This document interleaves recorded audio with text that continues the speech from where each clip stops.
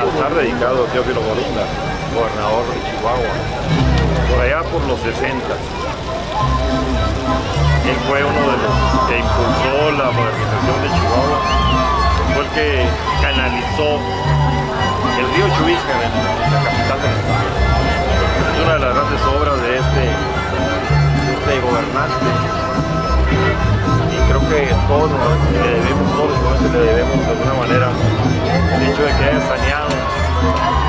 esta obra de infraestructura